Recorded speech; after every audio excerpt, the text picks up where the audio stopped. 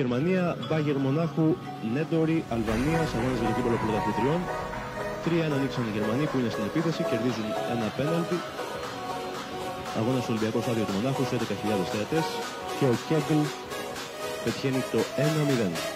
Η Μπάγκερ δεν ικανοποίησε του φίλου της, αντίθετα με τους Αλβανούς που στάθηκαν πολύ καλά στο γήπεδο και δέχτηκαν τα χειροκροτήματα των ε, πολλών Αλβανών που, ήταν στο, που παρακολουθούσαν το παιχνίδι. Η Μπάγκερ επιμένει μια νέα επίθεση και είναι το 2-0 με τον Μιχαήλοβιτς στο 26ο λεπτό. Οι Γερμανοί όμως είχαν μια αντίθετη γνώμη και έτσι στο 30 βρέθηκαν μπροστά και ο Μίνκε με αυτό το σουτ έκανε το 2-1.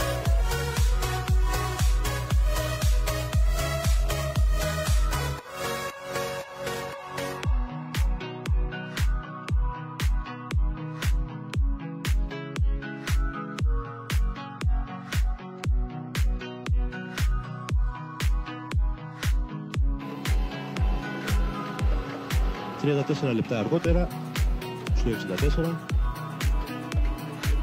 ο Μιχαήλοβιτς με αυτή την κεφαλιά κάνει το 3-1.